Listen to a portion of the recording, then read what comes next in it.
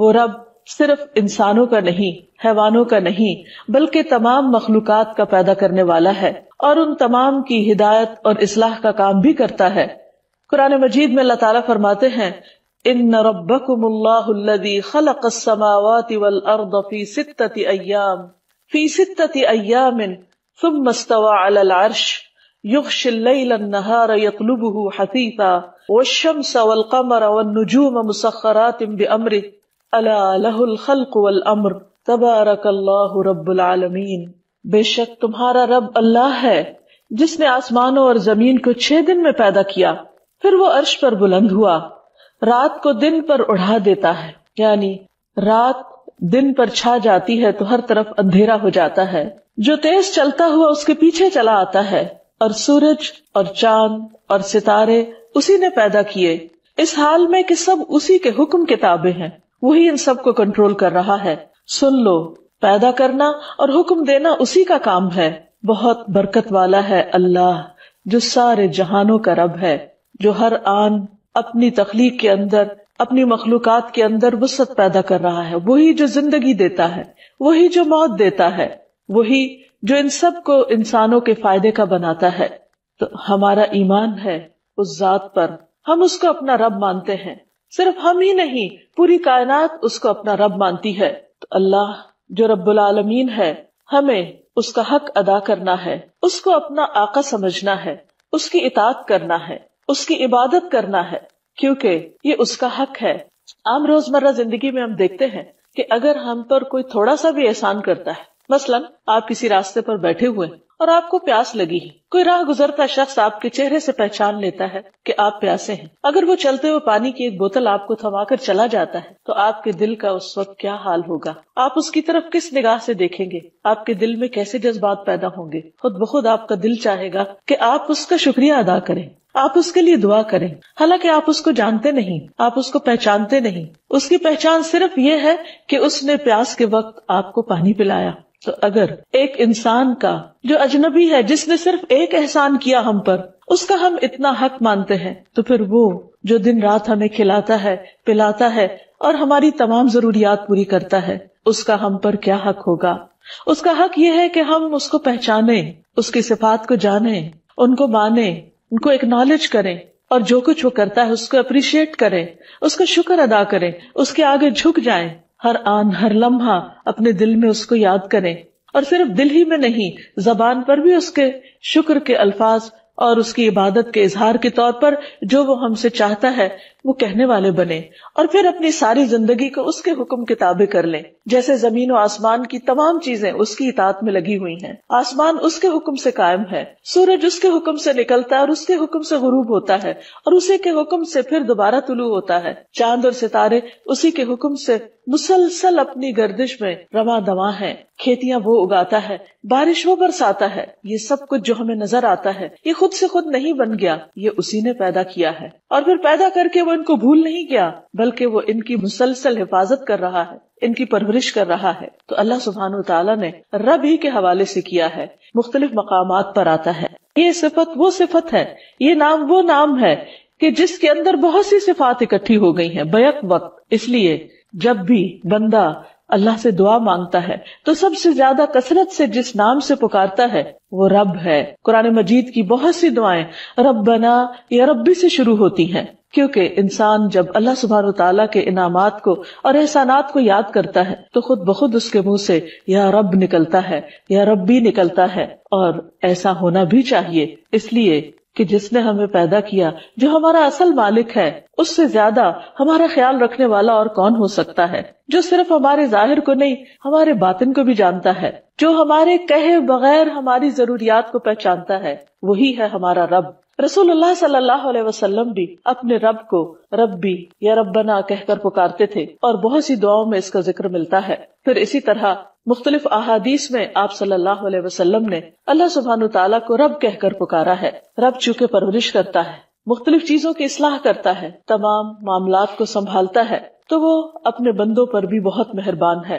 حدیث میں آتا ہے، رسول اللہ صلی اللہ علیہ وسلم نے فرمایا، ہمارا رب تبارک و تعالی ہے، ہر رات کو آسمانی دنیا پر آتا ہے، جب رات کا آخری تہائی حصہ باقی رہ جاتا ہے۔ وہ کہتا ہے ہے کوئی جو مجھ سے دعا کرے، تو میں اس کی دعا قبول کروں۔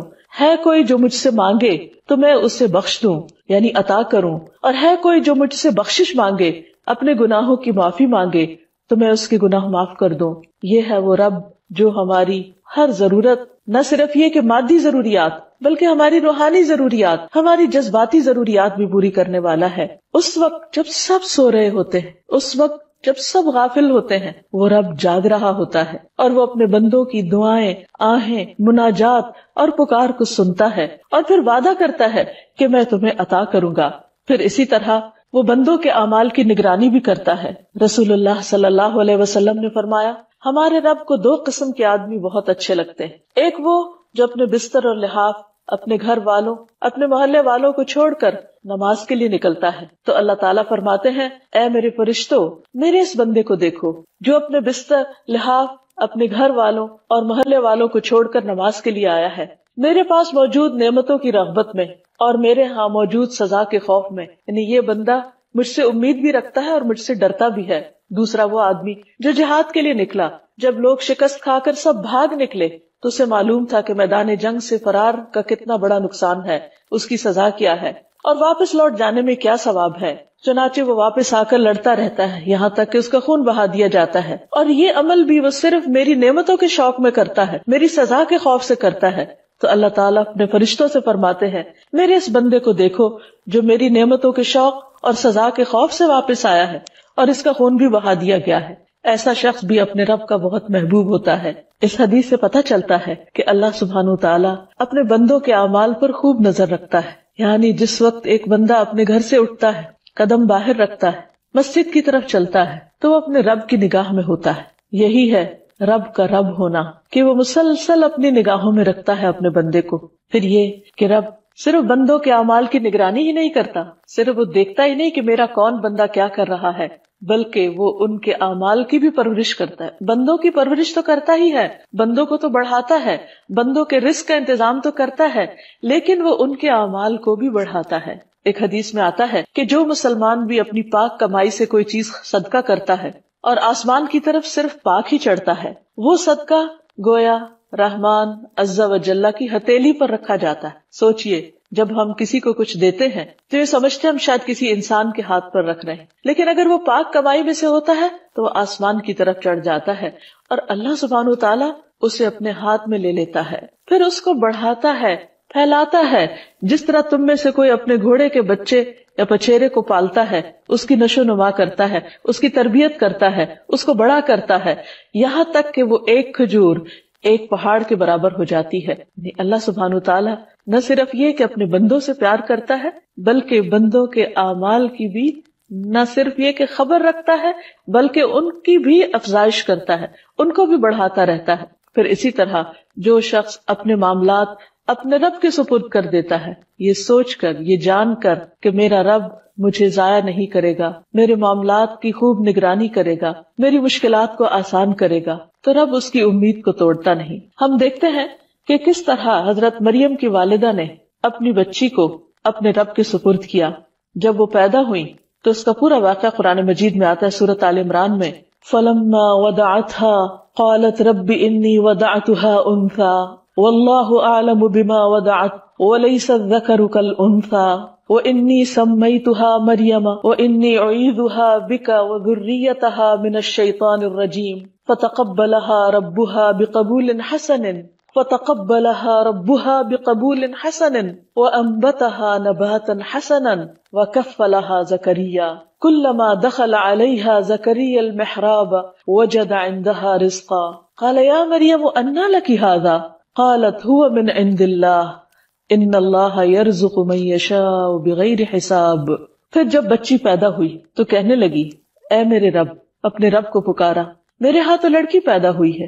حالانکہ جو کچھ اس نے جنا، اسے اللہ خوب جانتا تھا اور لڑکا لڑکی کی طرح نہیں ہوتا۔ اب میں نے اس کا نام مریم رکھ دیا اور اس کو اور اس کی اولاد کو شیطان مردود سے بچا کر تیری پناہ میں دیتی ہوں۔ بس اس کے رب نے اسے اچھی قبولیت کے ساتھ قبول کر لیا۔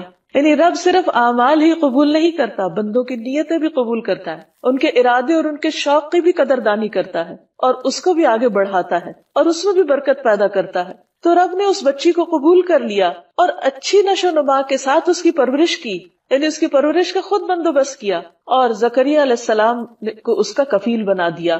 جب کبھی زکریہ اس کے پاس عبادت خانے میں داخل ہوتے، حالانکہ کفالت زکریہ علیہ السلام کر رہے تھے، لیکن ان کے پاس یعنی مریم علیہ السلام کے پاس کوئی نہ کوئی کھانے کی چیز پاتے۔ تو پوچھتے، اے مریم، یہ کہاں سے آیا؟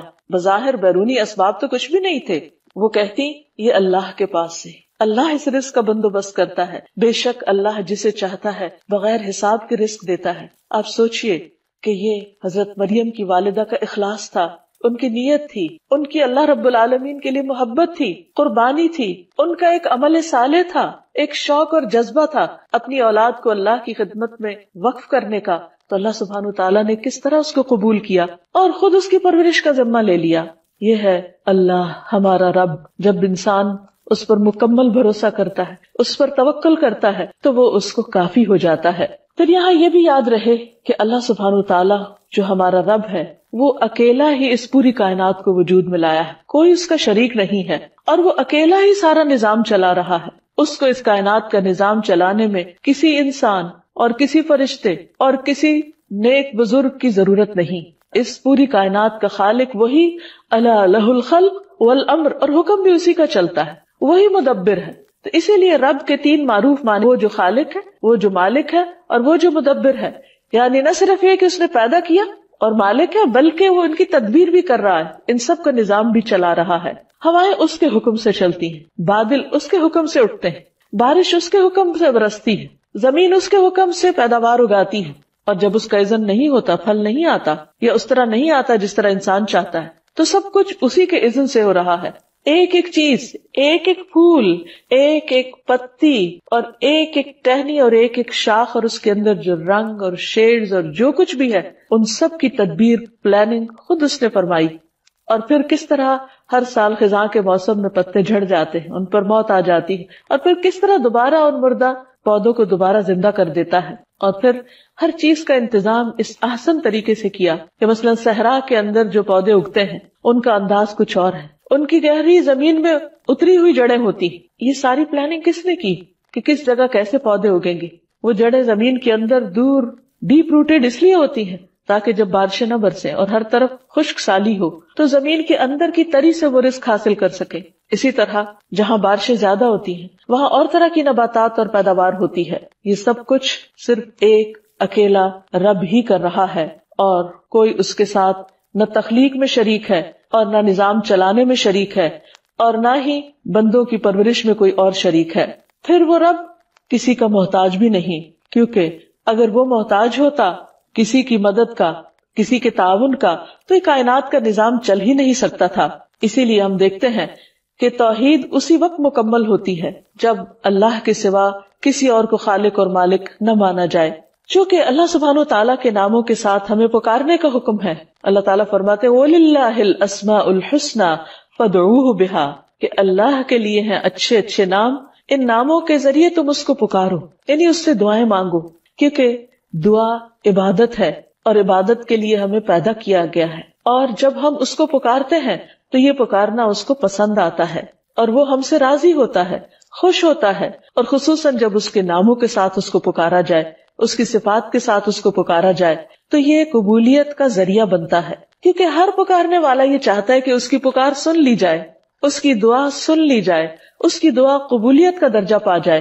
تو ابو حرارا رضی اللہ عنہ کہتے ہیں کہ سب سے زیادہ مکمل دعا یہ ہے کہ آدمی یوں کہے اللہ انت ربی، اے اللہ تو میرا رب ہے وہ انا ابدو کا اور میں تیرا بندہ ہوں، میں تیری عبادت کے لیے پیدا کیا گیا ہوں۔ ظلم تو نفسی میں نے اپنی جان پہ بہت ظلم کیے۔ میں نے تیری عبادت کا حق ادا نہیں کیا۔ وہ طرف تو بھی اور میں اپنے گناہوں کا اعتراف بھی کرتا ہوں۔ میں ان کو مانتا ہوں کہ واقعی میں گناہ گار ہوں۔ یا رب بھی اے میرے رب فخ پھر لی، تو مجھے معاف کر دے۔ فخ پھر لی غمبی تو میرے گناہ کو معاف کر دے۔ ان کا انت رب بھی کیونکہ تو میرا رب ہے۔ تو معاف نہیں کرے گا تو کون کرے گا؟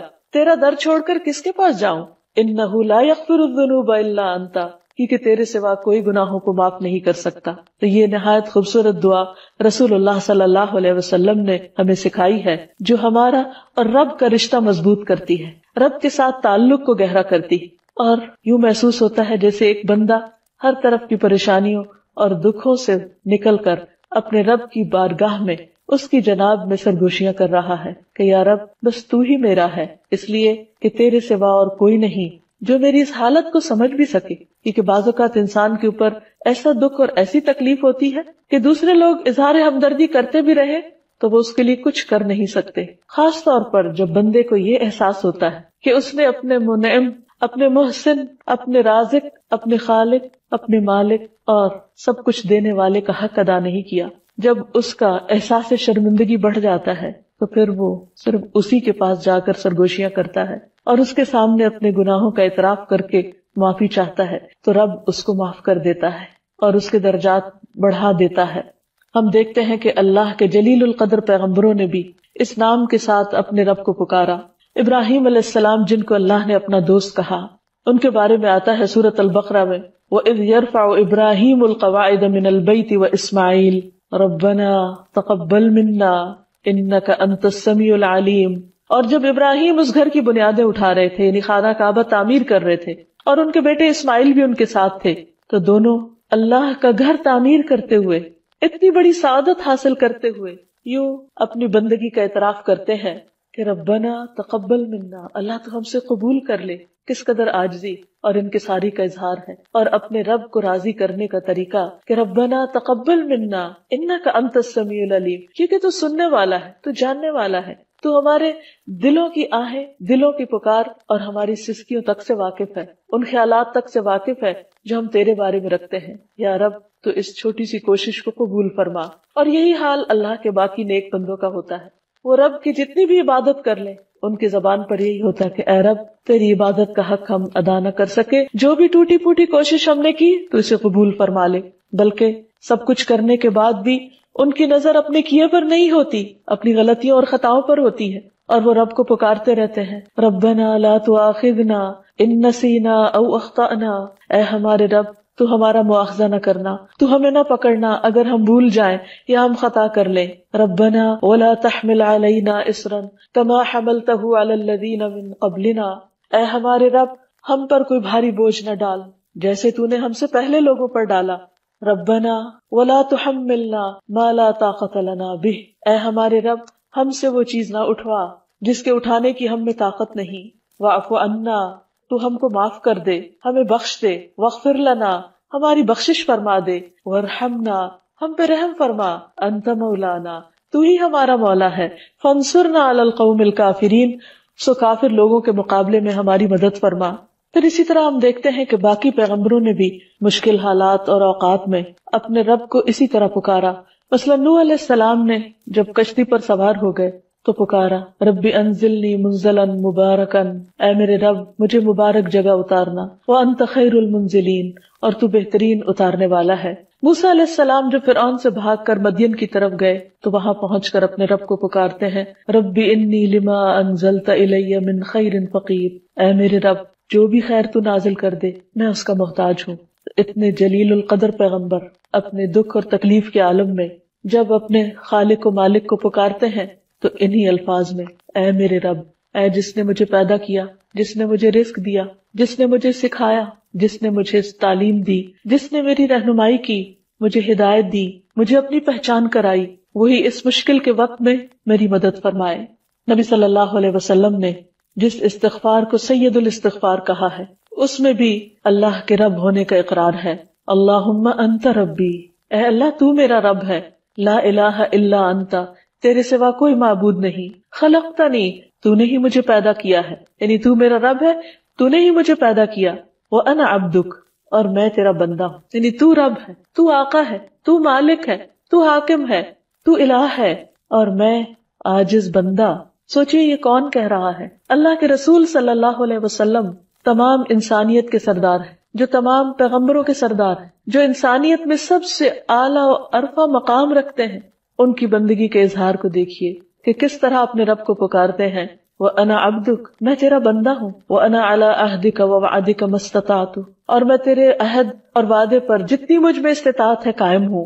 اعوذ بک من شر ما صنعت۔ میں تیری پناہ چاہتا ہوں، اس شر سے جو میں نے کیا۔ ابو لک بنعمتک علیہ، تیری جو بھی نعمتیں مجھ پر ہیں، میں ان کا اعتراف کرتا ہوں۔ یہ ہے ایک بندے اور رب کا تعلق۔ وہ ابو لکب بھی اور میں تیرے سامنے اپنے گناہوں کا اعتراف کرتا ہوں۔ فخر لی، تو مجھے معاف کر دے، تو مجھے بخش دے۔ الذنوب الا انت کیونکہ تیرے سوا گناہوں کو کوئی نہیں بخش سکتا۔ اسی طرح ایک بندہ مومن جب اپنے رب کو پہچان لیتا ہے تو اپنے سارے امور اسی کے حوالے کر دیتا ہے۔ سارے دن کے کام کاج میں تو اپنے رب کو یاد کرتا ہی ہے۔ جب سونے کے لیے جاتا ہے تو اپنے آپ کو اپنے رب کے حوالے کر دیتا ہے، کیونکہ اسے نہیں معلوم کہ سونے کے بعد دوبارہ اس کو جی اٹھنا نصیب ہو یا نہ ہو، کیونکہ دوبارہ اٹھنا بھی رب کے اذن ہی سے ہے۔ نبی صلی اللہ علیہ وسلم نے فرمایا، جب تم میں سے کوئی شخص اپنے بستر پر جائے تو اپنا بستر جھاڑے۔ اس لیے کہ وہ نہیں جانتا کہ اس کے پیچھے کیا چیز اس میں داخل ہو گئی۔ پھر کہے بسم کا ربی ودعت جمبی وہ بھی کا ارفا ان امسک تنفسی فرحمہ وہ ان ارسل تہا بما تحفظ بھی عبادت الصالحین۔ اے میرے رب، اے میرے رب، تیرے ہی نام سے میں نے اپنا پہلو رکھا، تیری ہی مدد سے میں خود کو اٹھاؤں گا۔ اگر تو میری روح کو قبض کر لے تو اس پر رحم کر دینا، اور اگر اس کو چھوڑ دے تو اس کی حفاظت کرنا، جیسے تو اپنے نیک بندوں کی حفاظت کرتا ہے۔ یہ ہے بندے اور رب کا حقیقی تعلق کہ بندہ اپنا سب کچھ اپنے رب کے حوالے کرتا ہے، اور یہ اس وقت ہوتا ہے جب بندہ اپنے رب کو پہچان لیتا ہے کہ حقیقت میں ہر چیز کی کیئر وہی کرتا ہے۔ وہی ہر چیز کو سنبھالنے والا ہے۔ نہ صرف یہ کہ انسان، بلکہ ہم دیکھتے ہیں کہ کائنات کی ہر چیز اپنے رب کو پکارتی ہے اور اپنے رب کو پہچانتی ہے۔ مثلاً وہ مشہور واقعہ جو قرآن مجید میں آتا ہے، حدود کا، کہ کس طرح اس نے سلیمان علیہ السلام کو ایک قوم کی حالت آ کر بتائی کہ وہ اللہ کے سوا دوسروں کو پوچھتی ہے۔ اس نے کہا، وہ اللہ کو چھوڑ کر سورج کو سجدہ کرتے ہیں اور شیطان نے ان کے لیے ان کے اعمال خوبصورت بنا دیے ہیں اور انہیں اصل راستے سے روک دیا ہے، اس لیے وہ ہدایت نہیں پاتے، تاکہ وہ اللہ کو سجدہ نہ کرے جو آسمانوں اور زمین میں چھپی چیزوں کو نکالتا ہے اور جانتا ہے جو تم چھپاتے اور ظاہر کرتے ہو۔ اللہ وہ ہے جس کے سوا کوئی معبود نہیں اور جو رب ہے عرش عظیم کا۔ یہ ہد ہد کہہ رہا ہے کہ اللہ کون ہے جو عرش عظیم کا رب ہے۔ تو سوچئے، اگر ایک چھوٹا سا پرندہ اپنے رب کو پہچانتا ہے، تو انسان کا کیا فرض بنتا ہے کہ وہ اپنے رب کو کس طرح پہچانے اور کتنی معرفت اس کی حاصل کرے؟ اسی طرح جنت اور جہنم بھی اپنے رب کو پکارتے ہیں۔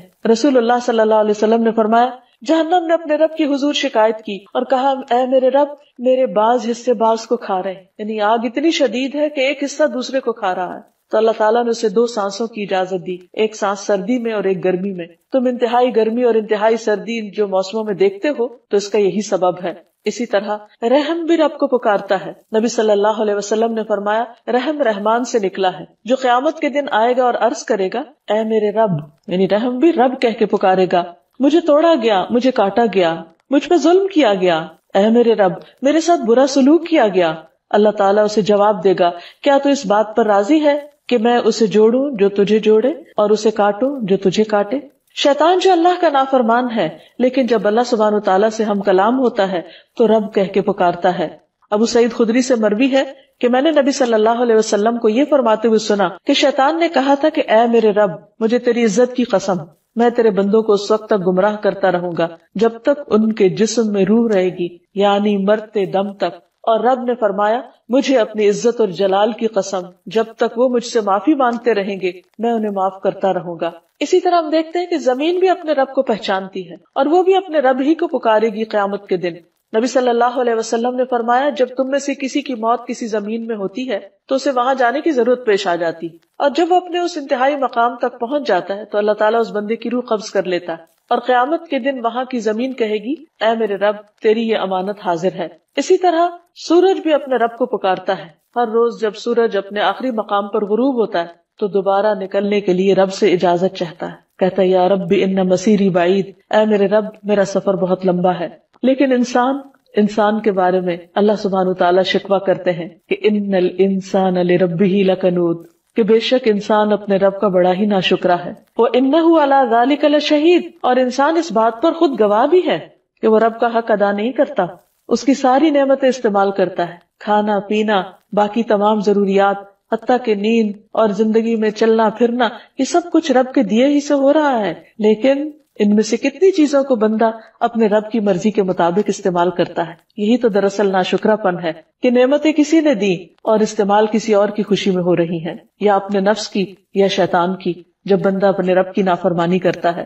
اور فرمایا وہ ان الخیر لشدید وہ مال کی محبت میں بڑا سخت ہے۔ یعنی جتنی محبت اپنے رب سے کرنی چاہیے، اس سے بڑھ کر وہ اپنے مال کے ساتھ محبت کرتا ہے۔ اس لیے کہ وہ اپنی زندگی کا بہترین حصہ، اپنے اوقات کا بہترین حصہ، اپنے دن کا بہترین حصہ مال کمانے میں زیادہ لگاتا ہے بنسبت رب کی عبادت کے۔ تب کرنے کا کام کیا ہے؟ ہمیں کیا کرنا چاہیے؟ ہمیں سب سے پہلے رب کا تعارف حاصل کرنا چاہیے۔ رب کو پہچاننا چاہیے۔ کیسے؟ ایک تو کائنات کی نشانیوں سے کہ کوئی بھی چیز جو دیکھیں اس کی ساخت پر غور کریں، اس کے فنکشنز پر غور کریں، اس کے فائدوں پر غور کریں اور پھر سوچیں کہ یہ کس نے بنائے اور اس نے یہ سب کچھ کیوں بنایا، کس کے لیے بنایا؟ یقیناً ہم سب کے لیے۔ اور پھر اس کا شکر ادا کریں۔ دوسرا طریقہ یہ ہے کہ اس کی کتاب کو پڑھیں، قرآن مجید کا مطالعہ کریں اور اس میں رب کے جو جو کام بتائے گئے ہیں کہ رب کیا کچھ کرتا ہے، اس کی معلومات حاصل کریں۔ پھر نبی صلی اللہ علیہ وسلم نے اپنے رب کے ساتھ کیسا تعلق قائم کیا، اس کو جانے اور پھر اپنی زندگی میں اٹھتے بیٹھتے اپنے رب کو یاد کریں۔ جیسے ابراہیم علیہ السلام نے کہا تھا کہ رب العالمین کون ہے، میرا رب کون ہے؟ اللہ خلقنی فہو یہدینی۔ کہ جس نے مجھے پیدا کیا، پھر اسی نے مجھے ہدایت دی۔ ولدی ہوا یطعمنی و یسقینی وہ جو مجھے کھلاتا ہے اور پلاتا ہے۔ وہ ادا مرد تو فہو یشفینی۔ اور جب میں بیمار ہوتا ہوں تو وہی مجھے شفا دیتا ہے۔ ولدی یمیتنی ثم یحیینی۔ وہ جس نے جو مجھے موت دے گا۔ ولدی یمیتنی ثم یحیینی، وہی جو مجھے موت دے گا، پھر دوبارہ زندہ کرے گا۔ ولدی اطمع ان یغفر لی خطیئتی یوم الدین، اور وہ جس سے مجھے امید ہے کہ وہ یوم الدین کو میری خطائیں معاف کر دے گا۔ رب حبلی حکم و الحقنی بالصالحین۔ اے میرے رب، مجھے حکمت عطا کر، حکم عطا کر، اور مجھے صالحین کے ساتھ ملا۔ تو ابراہیم علیہ السلام کس طرح اپنے رب کے ساتھ تعلق رکھتے ہیں؟ کہ اپنی تمام باتیں اپنے رب کے ساتھ شیئر کر رہے ہیں، اپنی امیدیں اور اپنے دل کے حالات اپنے رب کے سامنے رکھ رہے ہیں۔ تو ہمارے لیے بھی یہی ہے کہ ہم اپنی چھوٹی سے چھوٹی ضرورت اور بڑی سے بڑی ضرورت میں، ہر حال میں اپنے رب کی طرف رجوع کرنے والے بنے اور پھر جو قرآن مجید کا مطالعہ کرے تو ربانی بن جائے رب والے بن جائے کیونکہ کتاب کے پڑھنے اور پڑھانے کا یہی تقاضا ہے۔ اور پھر رب کی پہچان دراصل ایمان کی علامت ہے۔ جو شخص دنیا میں اپنے رب کو پہچانے گا، قبر میں بھی جواب دینے کے قابل ہوگا۔ کیونکہ جب فرشتے آئیں گے قبر میں مردے کو دفنانے کے بعد اور اس کو اٹھا کر بٹھائیں گے، تو اس سے جو پہلا سوال کریں گے وہ کیا ہوگا؟ من ربو کا تیرا رب کون ہے؟ تو جس نے دنیا میں، اپنی زندگی میں، اپنے ہوش و حواس میں اپنے رب کے ساتھ تعلق قائم کیا، وہ وہاں بھی جواب دے پائے گا کہ ربی اللہ، میرا رب اللہ ہے۔ اس لیے یہ کوئی معمولی چیز نہیں کہ ہم رب کے ساتھ تعلق قائم کریں۔ یہ ہماری ضرورت ہے۔ اس میں ہمارا اپنا فائدہ ہے۔ اور پھر اپنی ساری زندگی کو اپنے رب کے سپرد کر دیں۔ جیسے ابراہیم علیہ السلام نے کیا، اپنے مشکلات میں اپنے رب پر توکل کریں۔ اپنے رب کے رب ہونے پر راضی ہو جائیں تو رب ہمیں راضی کر دے گا۔ صبح شام ردیت بلّہ ربن وہ بال اسلامی دین وہ بھی محمد رسولہ پڑھتے رہے کیونکہ جو یہ کہتا ہے حدیث میں آتا ہے، اس نے ایمان کا مزہ چکھ لیا، اس نے ایمان کا لطف اٹھا لیا، اور جو اللہ کے رب ہونے پہ راضی ہو گیا، اور محمد صلی اللہ علیہ وسلم کے رسول ہونے پہ راضی ہو گیا، اسلام کے دین ہونے پہ راضی ہو گیا، اس کے لیے جنت واجب ہو گئی۔ تو اللہ تعالیٰ سے دعا ہے کہ وہ ہمیں اپنی عبادت کی توفیق عطا فرمائے، ہمیں اپنی معرفت دے اور اپنا قرب نصیب کرے، صرف دنیا میں نہیں، آخرت میں بھی ہمیں اپنے مقرب بندوں میں شامل کر لے۔ واخر داوانا الحمد للہ رب العالمین۔